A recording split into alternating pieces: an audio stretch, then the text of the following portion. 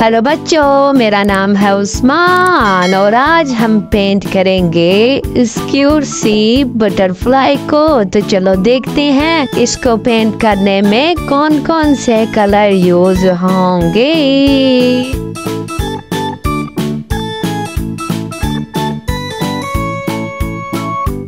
Red colour yellow colour